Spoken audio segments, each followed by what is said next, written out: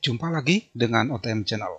Halo para sahabat sehat, apa kabar Anda semua? Semoga selalu tetap sehat ya, dan tetap bersemangat dalam melaksanakan aktivitas sehari-hari. Di pertemuan kita kali ini kita akan coba membahas bagaimana kiat menjaga sistem imun tubuh kita supaya tetap sehat dan fit di dalam kita melaksanakan aktivitas kita. Ada tujuh makanan penting yang bisa menjaga dan meningkatkan sistem imunitas pada tubuh kita. Makanan yang kita makan itu akan sangat e, menentukan bagaimana sistem dalam e, pertahanan tubuh kita. Sistem kekebalan tubuh kita akan terbentuk dengan baik jika asupan nutrisi yang kita konsumsi cukup gizi dan berimbang. Kualitas makanan yang kita makan sehari-hari akan sangat menentukan bagaimana kualitas sistem pertahanan tubuh kita. Pasukan yang terorganisir dengan baik ini akan terus bekerja mempertahan, mempertahankan tubuh kita dari serangan patogen seperti fungi, protozoa, bakteri, virus, parasit, dan agen-agen penyerbu lainnya. Jadi, tidak mengherankan jika apa yang kita makan akan sangat mempengaruhi seberapa baik sistem kekebalan kita melakukan tugasnya.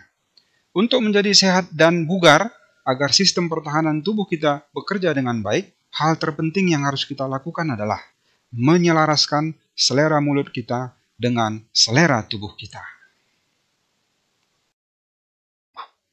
Baik, para sahabat sehat, ini adalah jenis makanan pertama yang sangat powerful dalam menjaga sistem imunitas tubuh kita. Brokoli, si hijau yang penting untuk kesehatan tubuh kita. Ini adalah sederet manfaat brokoli bagi kesehatan dan imunitas kita.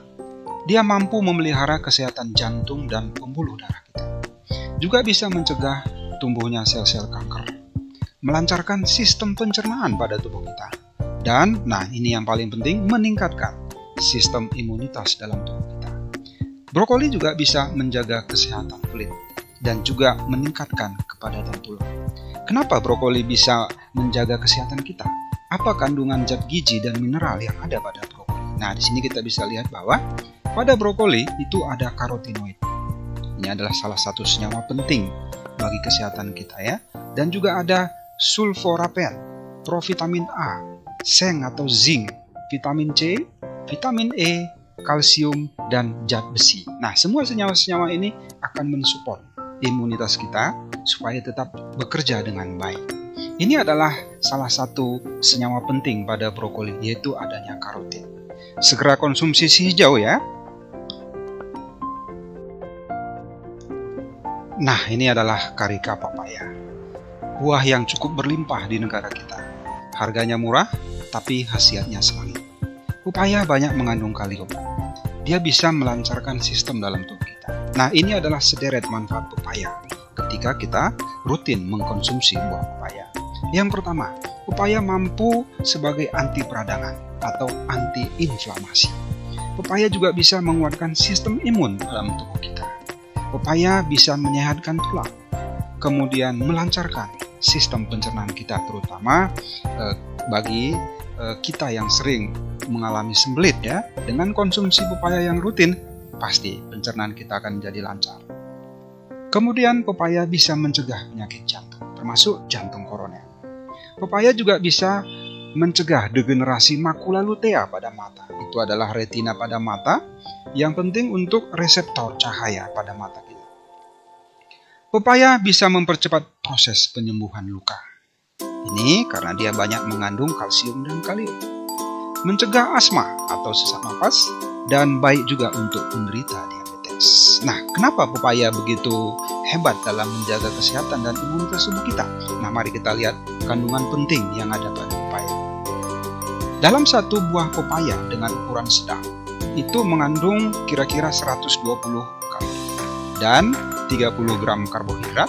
Di dalamnya terdapat 5 gram serat, 18 gram gula, 2 gram protein. Kandungan pepaya yang lain adalah ada kalium. Kemudian, nah ini ada asam folat, ada vitamin A, ada magnesium, tembaga, asam pantotenat, dan vitamin B. Nah, ini adalah salah satu uh, senyawa penting dalam pepaya, asam pantotenat. Ya. Ini merupakan uh, bagian yang turut mensupport kesehatan dan imunitas pada tubuh kita. Baik para sahabat sehat, ini pasti Anda mengenal semuanya. Garlic, si bawang putih. Ini bukan menjadi rahasia umum lagi. Ketika seseorang rutin mengkonsumsi bawang putih ya, tapi tentu saja eh, harus terukur ya, karena kalau ada gangguan mah ini juga akan eh, ada efeknya ya. Nah, bawang putih ini memiliki beberapa keunggulan dalam memproteksi dan menjaga sistem imun pada tubuh. Yang pertama, bawang putih mampu mengobati flu. Jadi kita tidak perlu mengkonsumsi obat medis ya. Nah, secara alami kita bisa lakukan dengan bawang putih. Garlic juga bisa meningkatkan sistem kekebalan pada tubuh. Bawang putih bisa menurunkan tekanan darah tinggi. Membantu mengontrol kadar gula dalam darah. Bawang putih juga bisa meningkatkan kinerja fisik kita.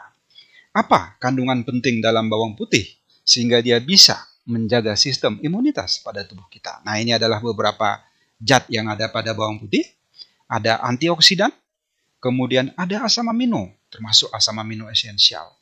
Dan ini satu lagi, flavonoid. Lalu ada oligosakarida, ini adalah derivat dari karbohidrat yang juga mengandung serat. Kemudian bawang putih juga mengandung vitamin C, kalsium, dan magnesium. Nah, semua unsur ini akan sangat berperan dalam menjaga sistem kesehatan dan imunitas pada tubuh kita. Nah, ini adalah senyawa flavonoid yang merupakan senyawa penting dalam eh, bawang putih ya sebagai antioksidan dan juga bisa mengatur metabolisme tubuh kita supaya tetap lancar.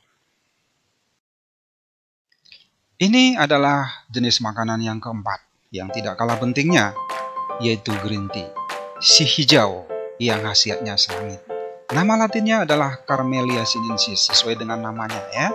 Jadi si hijau ini sangat penting bagi kesehatan kita. Yang pertama, dia bisa mencegah resiko penyakit jantung. Nah, ini penting sekali ya. Kemudian mencegah pertumbuhan sel kanker. Juga green tea ini bisa mencegah resiko diabetes ya menjaga tekanan darah supaya tetap normal dan juga meningkatkan fungsi otak kita.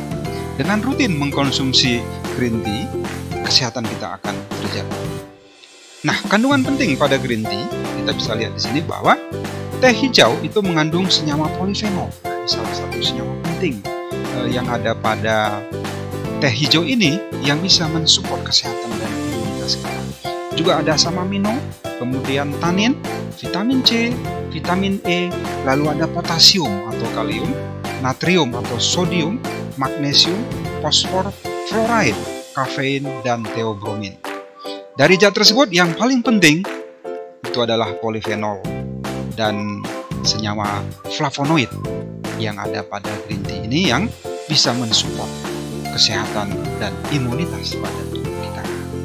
Masih ragu minum teh hijau? Segera, demi untuk imunitas Anda yang lebih baik. Nah, ini adalah salah satu rempah-rempah sebagai ciri khas dari negara kita ya. Ginger atau jahe ya. Nama latinnya Gingiber officinale. Jahe ini sudah terbukti bisa menjaga dan merawat kesehatan dan imunitas kita bahkan bisa sebagai preventif mencegah supaya kita tidak terselang seperti penyakit ringan. Nah, apa saja khasiat lain daripada gingiber officinale? Sini kita bisa lihat bahwa jahe yang kita konsumsi secara rutin dan terukur itu bisa mencegah kanker ovarium. Ini terutama untuk remaja putri ya. Jahe juga bisa meredakan batuk dan juga bisa eh, mencegah radang tenggorokan. Ginger juga berfungsi untuk mengurangi resiko penyakit jantung. Jahe juga bisa mengurangi resiko kanker kolorektal, yaitu kanker pada usus besar. Dengan meminum jahe secara rutin juga bisa mencegah diare.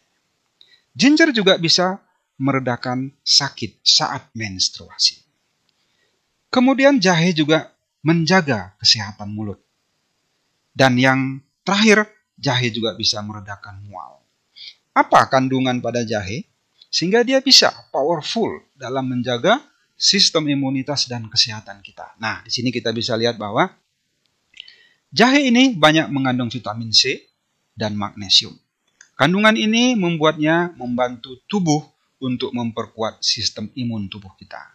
Selain kedua zat tersebut, jahe juga memiliki kandungan seperti gingerol, kemudian sagol, dan juga ada gingerones yang dapat berfungsi sebagai antioksidan pada tubuh kita. Nah, ini adalah rumus bangun kimia dari uh, kedua senyawa penting yang kita sebutkan tadi ya, gingerol dan sagol. Dengan rajin minum wedang jahe, saya pastikan sistem imunitas dan kesehatan kita akan tetap terjaga.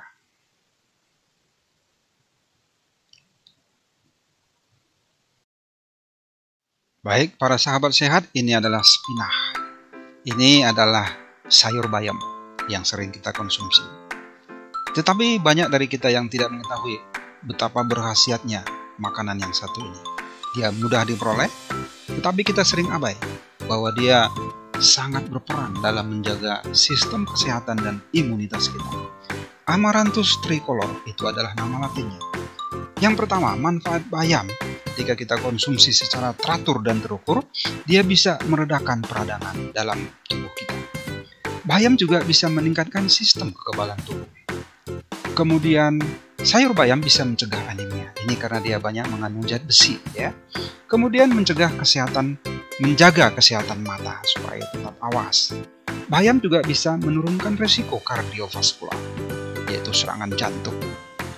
Bayam juga menjaga kesehatan kulit dan juga mencegah tumbuhnya sel-sel kanker. Apa kandungan penting pada bayam yang bisa berperan dalam menjaga sistem imunitas tubuh kita. Nah, sini kita bisa lihat bahwa bayam itu mengandung banyak vitamin A. Kemudian vitamin B kompleks, vitamin C, kemudian ada vitamin E. Ada magnesium dan ini asam folat. Asam folat ini adalah eh, nama lain dari vitamin B9 yang penting sekali dalam metabolisme tubuh kita. Dan ini ada zat besi. Ini tadi makanya kenapa bayam bisa mencegah anemia. Lalu ada kalsium, kemudian kalium.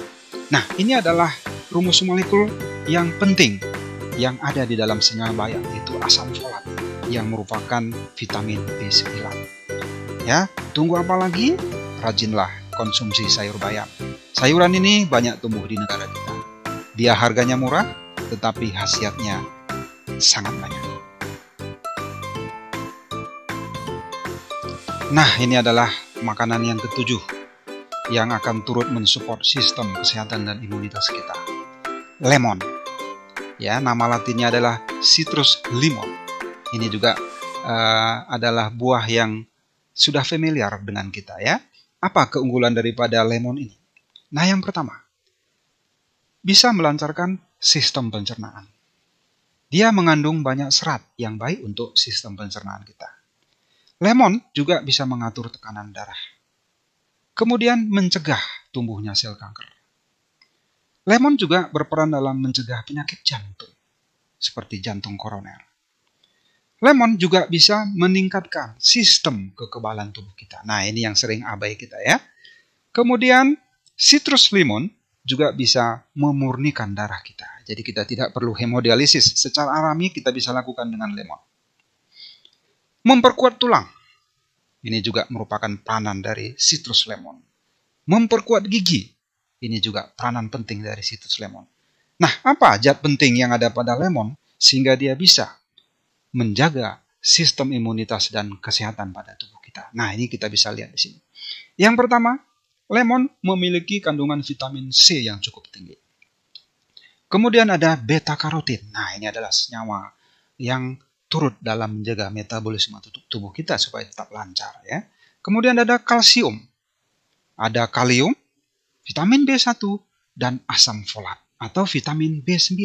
Nah, ini adalah rumus molekul atau rumus bangun dari asam folat yang merupakan vitamin B9, senyawa penting yang ada pada lemon yang turut berperan dalam menjaga metabolisme tubuh supaya tetap lancar. Nah, dengan demikian sistem imun kita sistem kesehatan kita akan tetap terjaga. Seiring dengan pertambahan usia, kita harus mengkonsumsi ketujuh makanan yang powerful ini yang sudah terbukti dapat menjaga sistem kesehatan dan sistem imunitas di dalam tubuh kita. Oke, terima kasih para sahabat hebat sudah menonton video ini. Salam sehat selalu dan tetap semangat. Nantikan video-video menarik berikutnya hanya di OTM Channel. Jangan lupa like, subscribe, dan bunyikan tombol lonceng.